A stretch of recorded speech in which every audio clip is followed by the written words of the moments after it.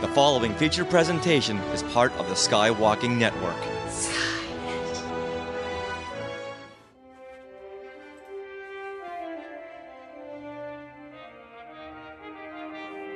Welcome to this bonus episode of Star Wars Warsologies, the podcast about science and other academic fields of study seen in Star Wars. This bonus episode, however, has nothing to do with Star Wars. Instead, it's the recording of our panel at LA Comic Con about the anniversary of Galaxy Quest, one of the greatest movies of all time. We had a crew member who worked on the movie, as well as some fans that have done creative work inspired by Galaxy Quest. It was a great panel. We had a great time and thank you all for listening. And make sure to check out our YouTube channel where we share this episode along with all of the slides that we shared in the room.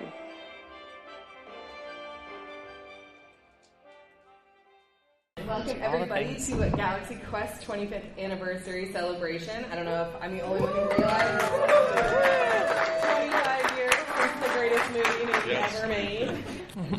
um, I'm going to have our panelists uh, introduce themselves as we go down the line here, real quick.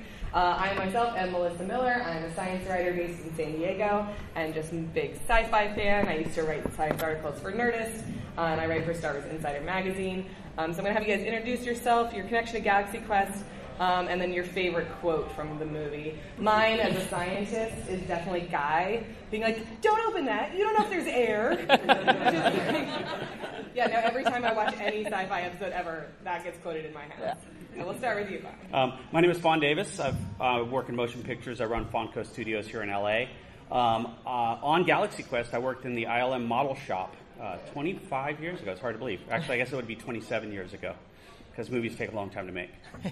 um, my favorite line from Galaxy Quest would be um, by Grabthar's hammer. oh, what a savings. Hi, everyone. Uh, I'm Erin Macdonald. I have a PhD in astrophysics. I work as a science advisor in the industry. I have no professional association to Galaxy Quest other than the fact that I am Star Trek's official science advisor, and we all know Galaxy Quest is the best Star Trek film ever made. So it is my favorite movie of all time. I have the NSEA protector next to the Voyager tattoo on my arm. Um, I asked, so when you asked, like, what's your favorite quote, uh, I immediately knew but I had to ask my husband, like, what do you think my answer is? Or what's the one I use the most? Because by Grabthar's hammer is great. Um, to see if there's a pub, I quote quite often. But he went right back to me, and as a scientist, mine as well as, is there air? You don't know? so, that one wins the prize. And he guessed it, so yeah, I was pretty proud of that one. Awesome. Uh, my name is Jack Bennett, and I am but a suckerfish on the blue whale that is Galaxy Quest. I spent three and a half years directing and producing a documentary that was released as Never Surrender, a Galaxy Quest documentary, and I conducted all of the interviews with all the people from Galaxy Quest.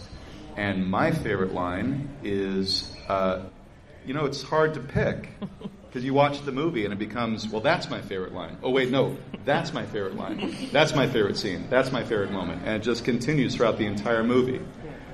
But pressed, if I had to pick just one, and it exploded.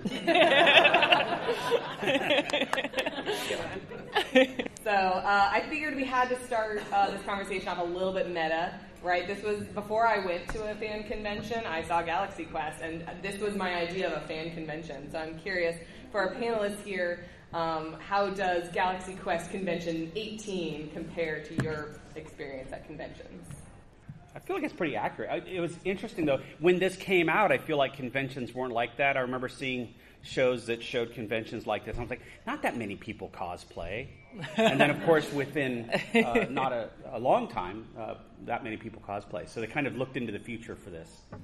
Uh, we got to build a miniature version of this convention, by the way, with all the merch and little buttons and all kinds of stuff. And then we crashed a spaceship into it. Nice. Perfect. I feel like it's it's based more on the Star Trek conventions at the time. The movie was made in 98, 99, and uh, I look at uh, you know, QuestCon, I look at it in the movie and I think um, that looks like the parking would be a lot better than any Comic Con I've been to. But um, it does still feel like when you go to conventions that are more regional, it feels like that convention still exists. Yeah. And it's you know, there's a lot of people there. It's a healthy audience, but it doesn't have that. You know, go to San Diego Comic Con and you can't move. There are so many people. Um, when we went to San Jose Comic Con, we went to Silicon Valley Comic Con. That felt more like the mm-hmm. QuestCon in the movie. So I, I feel like that convention still exists. For sure, and I yeah, I mean, this is obviously I do a ton of Star Trek conventions, and this is this is very reminiscent to that. I think the two kind of favorite moments for me that stand out is when Jason Nesmith goes to the bathroom and there's like the two aliens like at the urinals like talking to each other. Like, yeah, that that is a convention. you all Which is based on real life. That's based on Shatner in, in the in the restroom. That absolutely was taken from life. Shatner heard people talking about him while he was in the bathroom. Were they dressed as Klingons? I hope they were. Oh, I don't think he tried to look. okay, fair enough. And then, of course, being the science advisor too, I, I sit at tables and get people, you know, coming up and say, "Well, in this episode, you know, the nacelles did this, and then they said that they were going to warp ten, and like." we Just want to know where the where the inner lies in that. so that's constantly answering very detailed technical questions of Star Trek, yeah, specs. That's that's my job. Uh, autographs are not fifteen dollars anymore, though. Uh, nor nor will Sigourney Weaver dress up as one of her characters and pose with her, most likely. But uh, we can all dream. She will, but it'll be with a stack of boxes in between you and, and her when Right, you take the picture right. with her. That's true. Right. Be like, is there someone there? Okay. Right for two hundred dollars. Yeah, yeah. So, uh, a, a day's gone by. Yeah.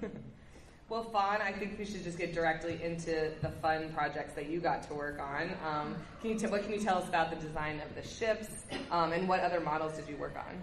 Uh, we worked on the. Uh, I was on the team for the whole visual effects part in the miniature unit, which was in Northern California. We did this uh, protector, which is eight feet long. Uh, we did uh, about a nine foot long Sarris ship, was the bad guy's ship. We also did a three foot protector and um, a six foot shuttle, which is the part that comes off of the protector. And then we did a really, really huge nose of a shuttle that we crashed through the 1 6 scale uh, convention center. So it was, it was a lot of stuff. It was a lot of, lot of months of hard work. The Protector in particular was a really challenging ship because you see those wings that come off and they go a very long distance before they reach their end. And we had to build a gimbal into the framework so that if there was any kind of sagging, we could get the wings to go uh, tilt up sideways, but also tilt up and down backwards. Because when it was on the rig, depending on how it was sitting, the wings would actually move. So, because they were cantilevered out so far. So those are the design things that people think of when they draw a picture, and then you try to make it in reality. You're like, wow, that's going to be way harder than it sounds. Isn't it amazing how much practical goes into digital effects? Like there's so Yeah. like, and I always say this about the movie. It's the same effects pedigree as Jurassic Park. Mm-hmm. Everybody always holds up Jurassic Park as the perfect marriage of digital and practical effects, and it's Stan Winston and ILM. Yeah. It's it's the exact same pedigree. Yeah, I feel like there was a, there was an era there where hybrid uh, visual effects were really prime, and those are the movies that still hold up today. Like when you look at the visual effects of Galaxy Quest, they really still hold up. E- e- even though there are a lot of movies that came out after that don't hold up because of the CG. hundred percent. Can you confirm what Bill George told me about the protector that says NT protector on it? The It's three, NTE protector. Yeah. Yeah, because it stands for. not the Enterprise, so that legally, legally they could Just stand in a court of enough. law. Yeah. And, and the original name of the ship was actually the STD Protector.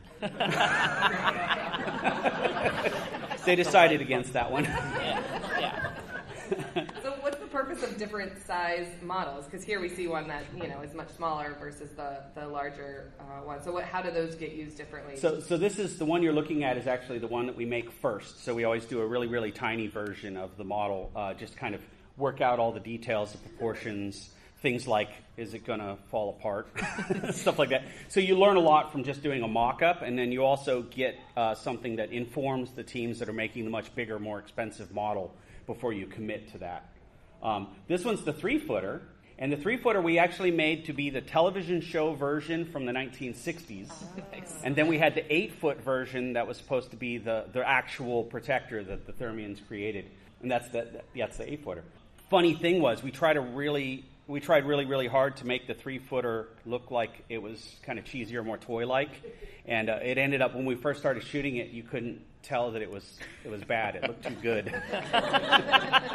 so we had to find ways to make it look even more toy like. It was really actually a weird challenge for us to try to make it look bad. Yeah. But it was really, really actually harder to make that one look bad than the, the big one to look good. Well, the design of Sarris's ship is something that I didn't really even notice until seeing your pictures. There's one of these pictures here where it looks like it's got googly eyes on it, and I was just like, maybe it was never shot from this particular angle. yes, yeah, never shot that way. And then if you go back to the, the painting of it in the black light room, so when you see the protector get ready to do anything aggressive, there's these lights that come out be- from behind all the scales that kind of rev up. That was all done with UV paint. So we actually had to paint those details in with UV paint with an airbrush. And then on stage, they would ramp up or down the black level of black light on the ship to really give it that kind of feeling of being alive. That was the thing that really drove the design of this ship that was different than probably any other spaceship I've ever worked on, is the fact that it looked like it was it looked like it was grown instead of constructed. It has very organic. undersea quality. Yes. They- Everything's very crustaceans in there. It's hanging in ILM, and they put a little UV light in it so that it glows when you Oh, walk when you I look inside that. it. Yeah. Oh, that's cool. fun. Yeah. Yeah. Yeah. Yeah, that one and the protector are both hanging in the stairway Yeah. at, at ILM. That's awesome. Well, and something I didn't notice until seeing your documentary, uh, Jack, and they, them pointing out was, you know, I'm an overthinker, but I had never noticed this, where it's coming out of the space dock, Yeah. you know, scratching Yep. on, on the side. But that's like the nose cone that's scratching. If Yeah. you look at the design here, there's literally no way that's possible, but who cares? That seems And, so funny. and who is the person who points out that that couldn't possibly work scientifically? Tim Allen. Yeah, no, it doesn't quite. It, uh, uh, shut up, Tim. No, no, but Yeah, when we, when we were working on that scene, we had to take the left wing off Yeah. so we can, we could get the nose in. Right, but I mean, I've seen it dozens of times and never noticed it until until See, the documentary. I had it's such candidate that they were so swiveled over that Oh. like it was just wildly impossible. But yeah, that's just how I Yeah, watch science it without. works. Yeah, it's fine. that's a tech advisor. we, were, we were actually hoping no one would notice. You'd be surprised how many times we cheat and no one notices. yeah, yeah, no, fair enough. It just once you watch a movie twenty five plus times, then you start to pick up on those things. And that scene is so funny. Yeah. Why would you want to poke holes in it?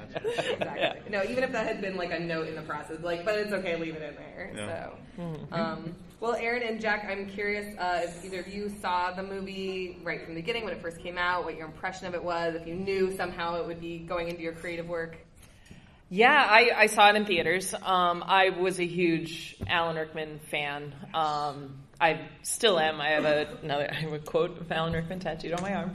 R.I.P. Love the man. And um, yeah, so like that was that was kind of my draw because I actually wasn't into Star Trek. I was into sci-fi, but I didn't grow up in a sci-fi household, and so I wasn't familiar with like Trekkies or Star Trek or anything like that. But but I loved Alan Rickman, so that was my impetus for going.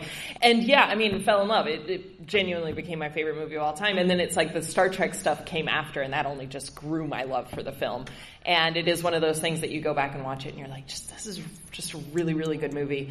And you know, we had gone to the UK a bunch growing up too, so I think that line when Alan Rickman just said like to see if there's a pub, uh, it's just such, such such an iconic. And then yeah, I mean, really, I, I remember. Well, Galaxy Quest was actually the first DVD I ever bought, so that was fun. And then yeah, when I when I did start getting into Star Trek fandom and going to conventions, it was like that warmth and happiness of like really, you know, I was so worried that Star Trek fans would be so well actually, and it's not. I think the that's and then going back to watch Galaxy Quest, you feel that love for fandom and for science fiction and just like it is made like to laugh with us, not at us. And I think that's the heart of gold that the film carries on, which is my approach to life too. And it's what makes it ahead of its time too. Is that it's it takes the goofy fan characters, it takes the sweaty Comic Con characters, and in the beginning it it shows them accurately as a bunch of nerds, and because of their nerdiness, they save the world. I mean, because of those fans' knowledge of the mechanics of the spaceship, they're able to save the world. That, that was actually something that had changed partway into the production. Too. Sure, yeah. Uh, originally, they were going to make fun of fans as part of the story, and then at a certain point, everyone kind of looked at it and said, "No, that's not the spirit of this movie." the movie should be celebrating fans, not taking jabs at them. So they really kind of rewrote it to make sure that they weren't making fun of fans and fans could be the heroes. I, th- I, think Bob Gordon, who wrote the movie, always had that fan love. But as I recall, when Harold Ramis was going to direct it, it was a lot more acerbic and it was a lot more scathing.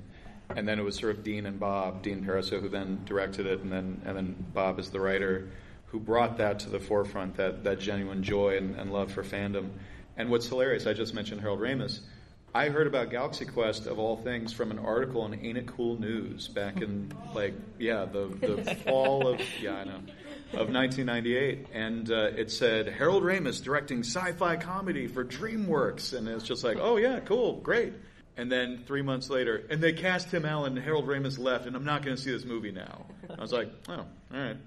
And I forgot all about it. Christmas 1999, the ads were on TV. It looked funny. I wasn't the biggest Tim Allen fan, but I was I was the biggest Sigourney Weaver and Alan Rickman fan. And at that point, I'd seen Tony Shalhoub in Big Night. I'd seen Sam Rockwell in a bunch of indie movies, and I was like, yeah, it looks funny. And when you're home from college and in your uh, your house with your family, uh, you need to get out. So my best friend from high school and I went to the movies and said, yeah, let's go see, yeah, whatever. Yeah and we go see it, and it was one of those movies. You know how sometimes you watch a movie and you're like, afterwards, was was that really good? That was like really good, right? Like that wasn't just good. That was really good. And then I asked all my friends when I got back to school, like, "Hey, did you see Galaxy Quest?" And they're like, "What is that?" That summer, I was working at a video store, and it came out on DVD, and I rented that thing every weekend. And the reason was because I would get calls from my friends saying, "What was that movie that we watched last weekend? Can you can you get it again?" And it just it became like this thing that got passed around. I must have rented that movie 200 times in the summer of summer 2000. Yeah. And uh, as I told this story to Dean and Bob when we were interviewing them for the documentary, you watch Bob's smile growing and growing, and Dean's scared expression, like you've you've seen our movie 200 times. and the fear on Dean's face, I feel like that represents their two personalities perfectly. So. No, I mean, has a, since we talked about Tim Allen a little bit, I'd like to skip ahead to sort of that question where um, it really seemed I didn't realize the controversy behind it, but in, in the documentary, you uh, talk about all the other people who were maybe cast um, and so if you have some insights into, into those, and I love the way you dress them up. I love this graphic. The, the reason I love this graphic, the Tim Robbins one I didn't do. That was somebody in post production at Defy Media. And then a different, but it looks fantastic, and I love that one. And then, um, so I made these two graphics of Bruce Willis and, and Mel Gibson myself with Photoshop. And what I did was I went to 1999 Mel Gibson and 1999 Bruce Willis. So that's from The Sixth Sense and that's from Payback. and then that's in 1999 Alec Baldwin too. It's like you got to remember where these guys were in their careers. Right. Alec Baldwin was who Harold Ramis wanted to cast after Kevin Kline turned it down. Mm-hmm. So that's what it was. It was a Kevin Kline movie all during pre-production. And Kevin Kline, who is one of my all-time favorite actors. You know, Fish Called Wanda. He's an amazing, amazing, hilarious actor. He has a nickname in Hollywood, which is Kevin Decline. oh. And we got Charles Newirth saying that on, on he was like, that's right, he D Kevin Klined. So Kevin was courted and courted and courted, and then he turned it down, and Harold Ramis said, well, I want Alec Baldwin to play it. But before it got to that point, the list begins with every comedian in Hollywood. The first name on that list of who can we cast as, as Jason is um, Robin Williams. So imagine that movie starring Robin Williams in the Tim, Tim Allen role. And uh, conversely, Bicentennial Man came out around that same time, and that was going to be a Tim Allen movie at some point. Hmm. These guys just kind of shuffle around until the right person winds up in the right part. But it's literally a list of who can open a movie. So it's Robin Williams first, Tom Hanks is in there, Tom Hanks is actually good casting for that part, I think. Um, Steve Martin turned it down. You know, everybody turned it down. The guys that Harold really wanted are on that board. It's Kevin Kline, Tim Robbins, Mel Gibson he talked to, Bruce Willis, and then Alec Baldwin while the other guys turned it down. And the problem with all of those casting choices is you take out the underdog factor that you have when you cast Tim Allen we all knew Tim Allen from Home Improvement. We knew him from the Santa Clause. We knew all that stuff. you know, Toy Story had come out, but you don't really associate that with like a Tim Allen movie. Oh, that's true. He'd already been to space. Yeah. That's right. He'd already been to space. and the thing, and the thing that I really love about it is that when you watch Galaxy Quest the first time, Tim Allen proves himself as an actor in the scene that the character is at his absolute lowest when he has to confess, "I'm a liar, I'm a fraud, I'm a charlatan," and you're like, Tim Allen's really good. Wasn't that was a story in the documentary? That's right. right? Yeah, yeah. I love this story. Oh my god. Yeah. All right, uh, you guys. You got it. It's so good. The um, the uh, but the thing is that Tim Allen, as a person who is unproven as a movie star, who is more of a TV actor, becomes the character in a way that these other guys would have been movie stars playing a has-been TV actor, mm. and that I think is the big the, the reason why it's such genius. It's his best performance, and he says that too. And he's he's not just like, oh, that's his best. He's great in yeah. the movie. Yeah. And then I fed this line to Paul Scheer in the documentary, and I'm so glad he said it on camera. if you squint at him, he looks like Shatner from the '60s. anyway, Paul well, liked that line. To lose his shirt just the right, right. Yeah, yeah. And that's actually a fascinating thing too. Um, if you'll allow me to go on for a second there's this whole thing that happens with movies, and I really wanted the documentary to reflect this, and I, I, think the version that came out kind of does, but there's there's a director's cut that really reflects this, which is that all of the choices that went into the movie, there's a combination of deliberate and accidental, and then there are the th- these things that affect everybody's lives that you couldn't have predicted. So Harold Ramis was going to direct it, and he wanted to cast Kevin Kline or Alec Baldwin then he leaves the movie and Tim Allen is, is cast. And the thing is, if Tim Allen hadn't been cast in that movie, and they hadn't said, now you got to look like a uh, you know a, a, movie star, a buff, or uh, you got to look like Shatner back in the day, you got to look like an action hero, then he wouldn't have had a personal trainer. Mm. And when he got cast in the movie, his life was a little iffy at that time because he had just gotten divorced. You know, there all this stuff. His his life was a bit of a mess. I don't think you would you know mind me saying that. And his personal trainer who got him into shape is his wife to this day. so if all of that stuff hadn't happened, he might not have met her and got his life together and you know had the had the life he's had since. So awesome. So right. you had Tim Allen stories too, right? Oh yeah. Well, we were we were well into the production of the, the way the movies are made then.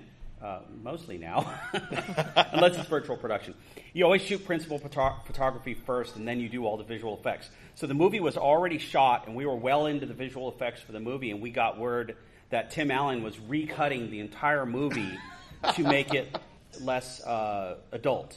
Because right. the, the, original humor for the movie was very uh, filled with a lot of F bombs and just swearing and all these kinds of things. And so he, he decided it should be a family movie, and it was a really, really good choice. When you watch the movie, you really feel like it would have been much worse if they had a bunch of unnecessary swearing and adult humor. Uh, so all that was cut, and the only scene that they were not able to cut from the movie is when you see, well, they cut the, the audio, but when when Sigourney Weaver sees the chomper, if you watch carefully, she mouths a very different word than screw that. different phrase. Um, but aside from that, that, that was something that happened very late in the process. It was a really good decision. We the whole movie came everywhere. together. Yeah. We, looked, like we looked everywhere for that audio. I was I was in Dean's attic with him, just going through old tapes, trying to see if we could find a rough cut with, with that audio in it. And finally, Sigourney, to her credit, because she's a very, very nice lady, uh, dubbed it for us. she held the iPad and, awesome. said, and then and then she looks up and goes, "That was terrible." well, fun. I know we had some other um, uh, images from set, and also the Stan Winston people who couldn't end up being here for the panel today sent us some uh, images. So I was wondering um, if you could tell us a little bit more about some of those, perhaps if you know anything more about the like models and, and stuff like that that they do on their end. I mean, I know you know at least a little bit about like maquettes. Yeah, clearly this is a, a, a, it's similar to the spaceship maquette that we start with. We often start with um, sculptures of characters, especially uh, creatures and things like that, that can then be either uh, 3D scanned or just created in the computer. Yep, and that was that was an actual costume that actually one of my favorite things about the movie is there there were the CG uh, creatures where the action needed to be really mobile and and uh, fluid, but for some of the more um, simple creatures, not, not I, I, that's a wrong way to say it. This is not a simple creature, but more simple than something that has a run across a planet. They used actual costumes. Sarris was a costume that I thought was always really brilliant with the fold out wings and things like that. And the When- Sarris costume it actually incorporates what they were going to do for Planet of the Apes when Stan Winston was going to do the James Cameron version of Planet of the Apes. Oh, wow. So that apparatus that that was what they developed for that for the, the ape mouths for that, that oh, version. So Right, yeah, this is a still from a super creepy, actually, video of I think the actor sort of trying it out in just a random parking lot or something like that. But yeah, the fact that like when the actor articulates, the whole mask articulates. yeah, yeah. Um, and he's just sort of like saying threatening things. It's like, oh, that's really If you pause it in the right place, you can Yeah. see the entire actor's mouth inside the mask. And Right. He's got like a weird like apparatus like uh, glued to his mouth and everything. Yeah. But the octopi, uh, that was actually a collaboration because, as you were saying, it's a suit. That thing is so big and heavy, they can't move. They just stay in place. So when you see it slide up in that one scene, that's ILM making Winston's suit move in the frame. So, FYI. Yeah, and the way they do these, they, they sculpt them out of clay in full size, and then they make molds and they cast them out of the materials, either the, the latexes or the urethanes that they use for uh, the creatures themselves. Yeah, that's what I noticed about this picture. There's like a small one, and then a big one, and then even maybe like a paper cutout or something like that. Yeah, so we do the we do the maquettes to work out what the design is going to be like. The cardboard cutouts we work. We'll print a number of different sizes of cutouts um, to figure out what size it needs to be. We'll have people stand next to it and take pictures and stuff.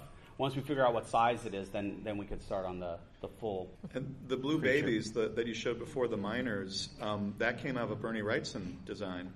So, I mean, here we are at Comic Con. We should, I know- just heard five people go, miners, not miners.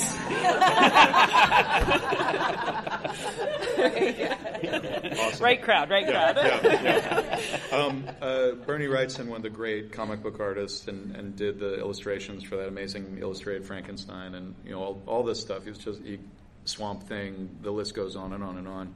And he, he did a lot of designs that then Crash McCreery. Uh, he did a lot of revising of those designs or some of his own designs. And those little blue babies that comes directly from a Bernie Wrightson design. And also there's a there's a rock monster with that's like a very Wrightson illustration that I Yep, yep, yep.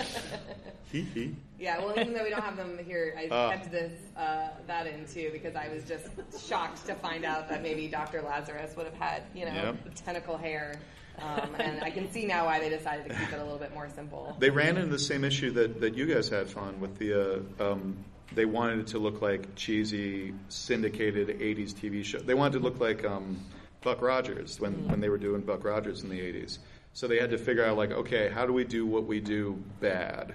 So they put they put a seam in it. Like if you look at the headpiece, there's like a big seam, and the color is not quite right, and it's too thick, and there are little pores in it, and everything. And you watch the movie, and it still looks great. They can't help themselves. Well, and when you were talking about like visual effects versus practical effects, the like pig lizard, I have to say, is one of my favorite insights from the documentary. Is the like designer who like offered to come to set and then seems like it's maybe the biggest regret of his life. That's Shane Mahan, who to this day is like one of the head guys at Legacy Effects, which is what Stan Winston turned into. And they call it Legacy because it's Stan Winston's legacy. But he and uh, John Rosengrant and, and um, a, a bunch of the former Winston guys run Legacy Effects. So he does a lot of the Marvel movies, and Charles Newirth, who worked on Galaxy Quest, also does a lot of Marvel movies.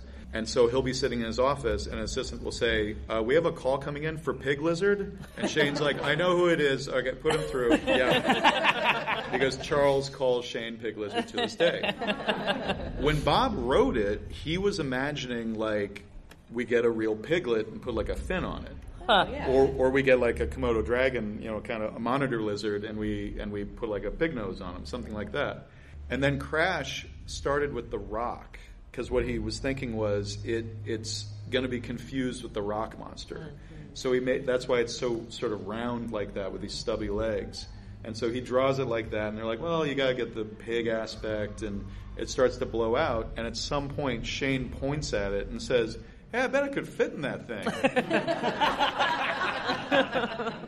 Cut to Goblin Valley, Utah, Jeez. in the most extraordinary heat he's ever experienced, and Shane is stuck in that thing. Yeah.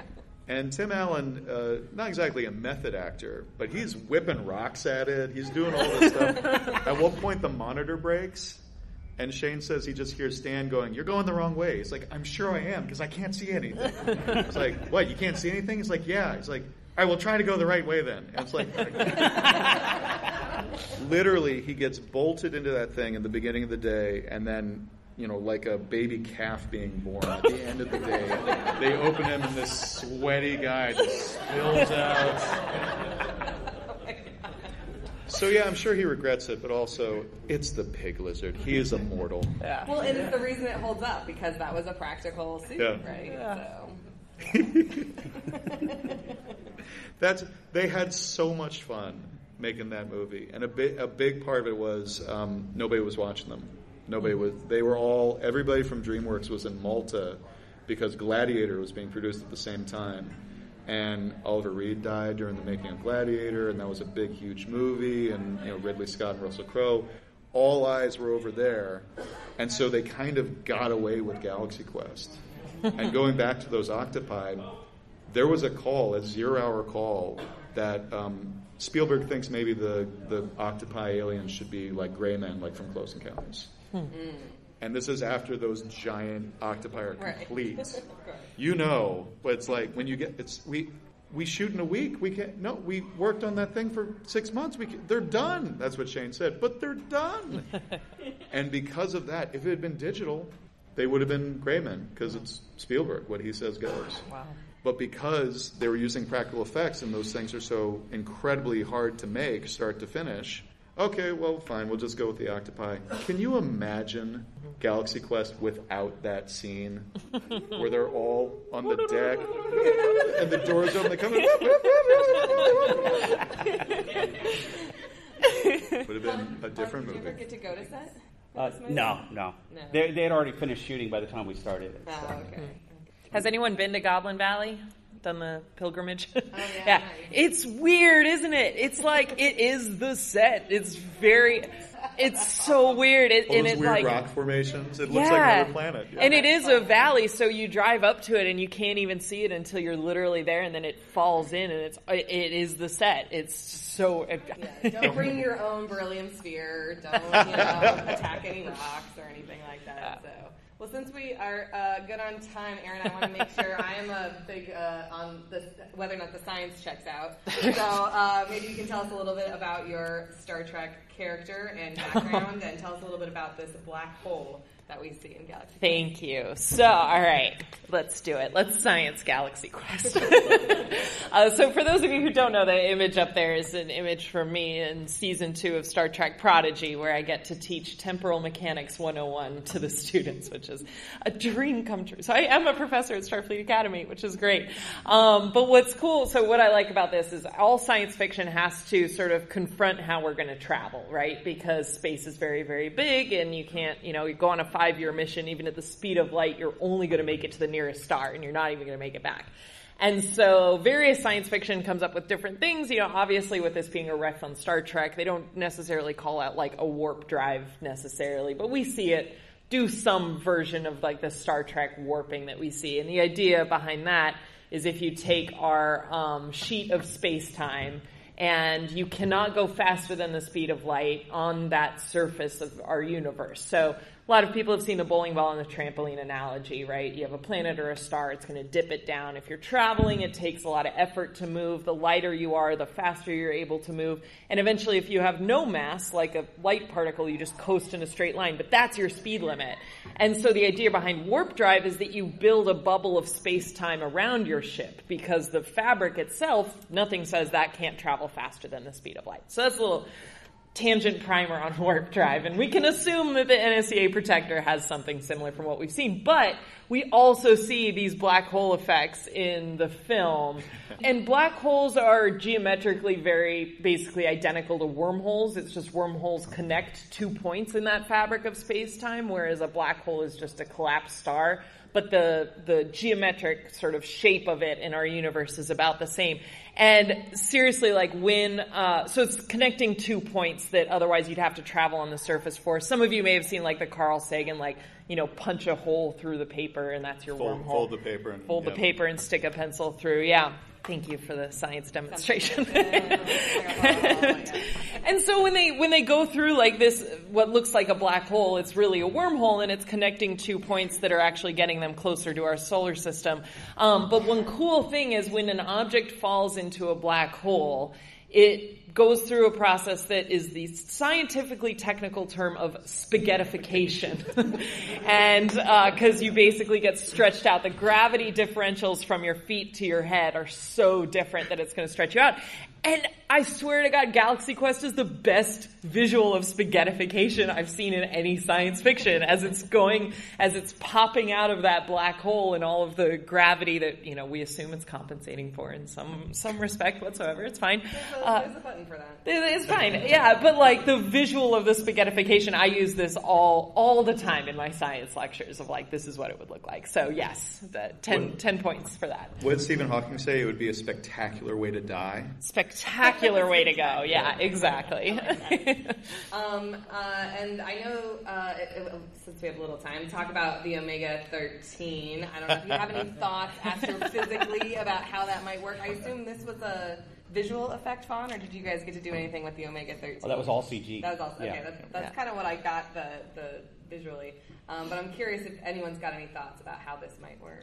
Uh, Yeah, I mean, again, so our fabric of our universe is a four dimensional space and time. So you go three dimensions in space, right? You go forward, back, left, right, up, down, and we go forward in time at one second per second. We just don't have any control over the time variable, but our universe is this four dimensional fabric. And so the idea behind like something like the omega 13 particle is that it is able to bend space time in such a way that it almost and they show a pretty good visual of it when they activate it, of it kind of warping space time, and it really is just like, and we're going to put you back here in the time dimension, but all of your spatial dimensions stay the same. I like to think that, I mean, I don't know any of the official story, but being a Voyager fan, they brought up the Omega particle, right? It was like this big, scary thing that would destroy all of, you know, rend space time useless. And so I like to think they're the same thing and it's all the same universe, but that's just have you brain. slipped any Galaxy Quest stuff into Star Trek? Uh, Oh, how about? I don't. Uh, I, I just have to say, I watch all these horror movies and they don't even scare me anymore. But everything you're talking about is why sci-fi gives me anxiety attacks all the time. just what you said about space and this direction. and I'm just like, it's okay. It's why. I, it's why I'm here. I got you. thank God you're here. someone understands it. Yeah, yeah, Yeah. yeah.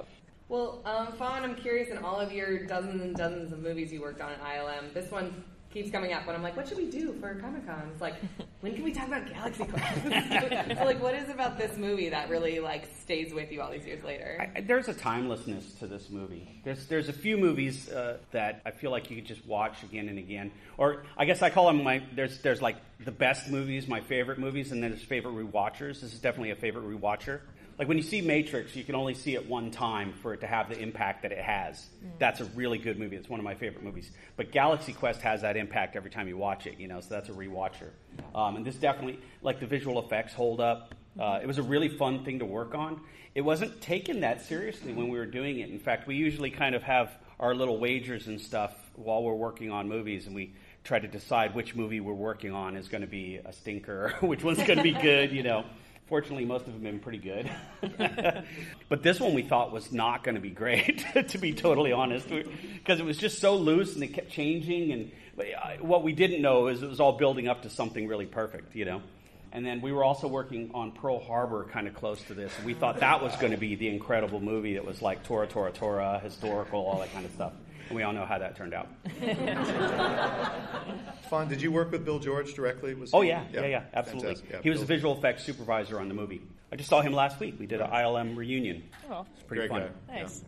Well, Erin and uh, Jack, I'm curious about your sort of thoughts about it, and uh, from the fan perspective. Of, you know, what what Harold inspired you to, to Yeah. spend three and a half years of your life? Uh, you said doing this document. Yeah, I mean, honestly, I've seen a lot of cosplay that takes commitment, but rolling Yeah. a beryllium sphere around a con all day. Well, um, that I mean, that's the thing. That's how we found them. We we were at we were just shooting B-roll at a Silicon Valley Comic Con, and it was just one of those things of.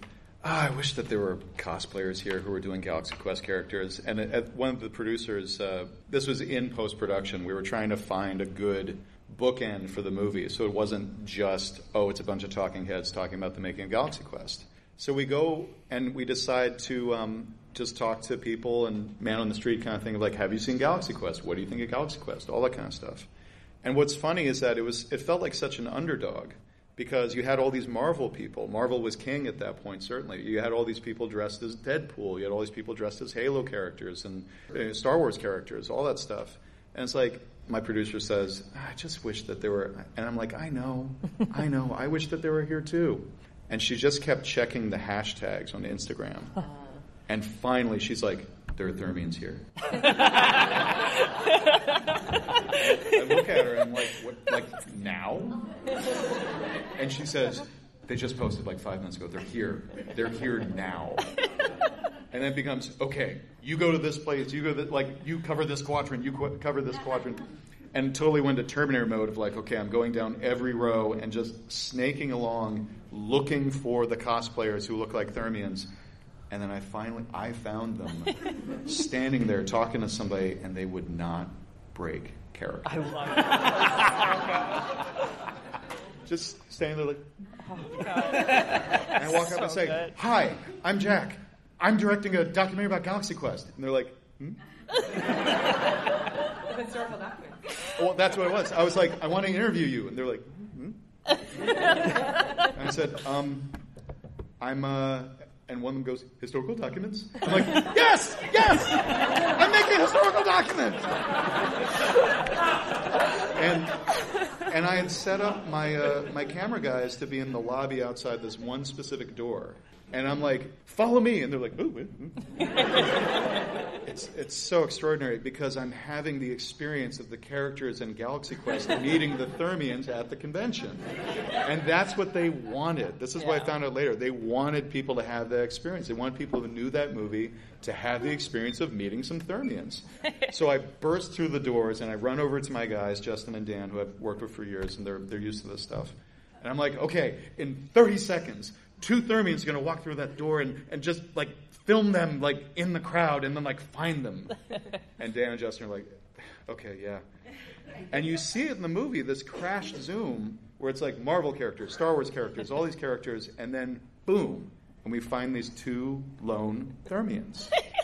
and they walk up to the camera, and then I interview them in character, and they won't break character. And right at the end, one hands me a business card, and I and it says Thermians from Utah. so I call the number maybe like an hour later, and I just hear this voice say. Hey, I'm sorry. Uh, this is Harold. I, I was the guy you were talking. I'm the Thermian.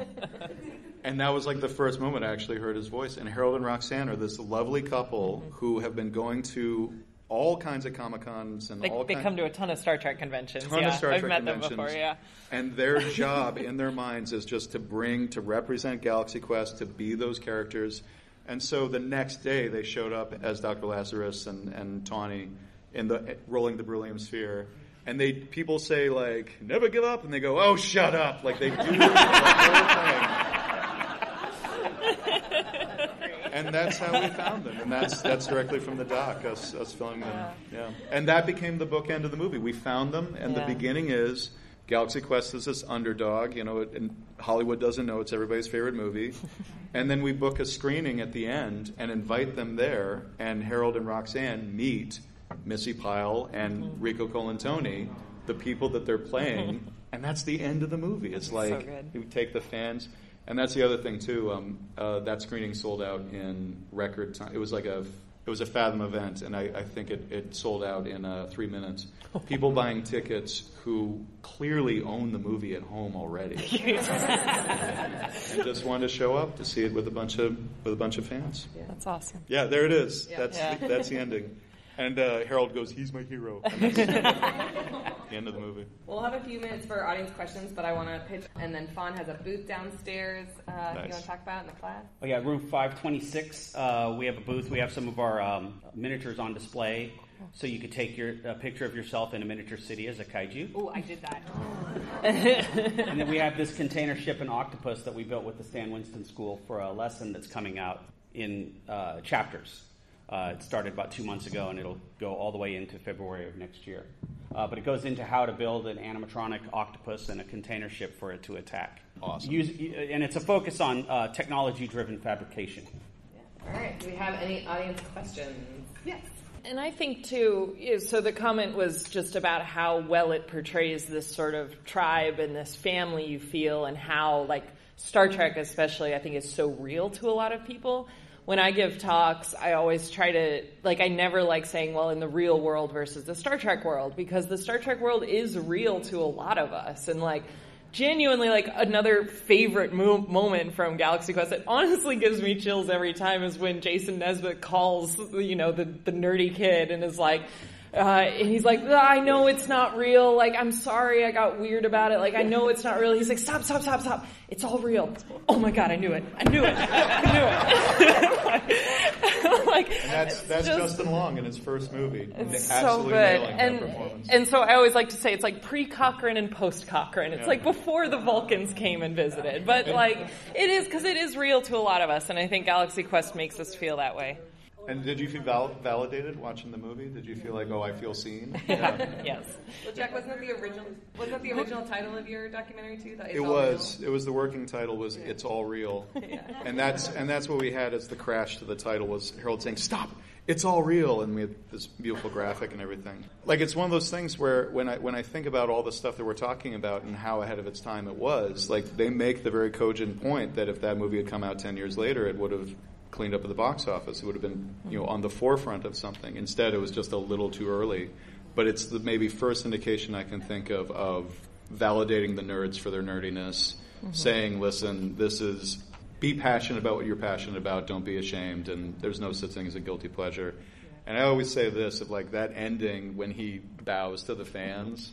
It's like that. That's that's as good as you know the Lord of the Rings, where it's like my friends who bow to no one. It's like I like it better in Galaxy Quest. I mean, Yeah, I like that. That's yeah. so good. Any other questions? Oh yeah. The fascinating thing is the fact they caught a lot of fan complaints about Star Trek. And the one I enjoy the most is Sigourney Weaver talking about I have to repeat. Oh, I have one job. It's stupid. Cover up. It's yeah. Well, and two, like for me, it just brought back a memory of like so. I like I said, I wasn't into the Star Trek fandom when it came out, but I was very much into X Files fandom. and, and the moment when uh, Jason, when they they kiss at the convention on the end, and the girl passes out, I was like, if Gillian Anderson and David Duchovny did that at a convention, I would be on the floor. Like I would a thousand. They were like my one true pairing. Like that is yeah. And so I yeah I agree. Well, It's and I- yeah. yeah. For anyone who hasn't seen Jack's documentary, Sigourney Weaver's interview is probably my favorite part of that because she is so game. She knows exactly what she was doing. Yeah. Seems to really, really love that role. So if you really just think of her as like Ripley or something like that. That, that was the one I was the most intimidated by, just by virtue of you know how many. If I have to go home and look at all of my Sigourney Weaver movies and the Alien box set and throw them out because I, Yeah. like that was the one that was the most pressure on me, just because I was the biggest fan. And ah, God, she is the sweetest, nicest lady. Just seems like a nice lady from the neighborhood. And uh, and then I got halfway through the interview, the publicist walks in and says. Uh, Miss Weaver, we have to, and she goes, no, it's okay. I was like, yes, I got the wave off. So we went from a 20 minute interview to an hour long interview. Nice. By the way, Chill Mitchell told me that's that moment when she says, I have one job, it's stupid. He said, try being on the other end of that. It's a hilarious scene, and then Ripley is going, look, and pointing at you. Yeah. Yeah, so we're uh, we're gonna wrap up here so that the other panel can take place. But um, uh, the panelists, at they're game, will be out in the hallway answering all the last few questions and stuff like that. Thank you all so much for coming. Thank you so much. Thank you. Never give up. Never surrender.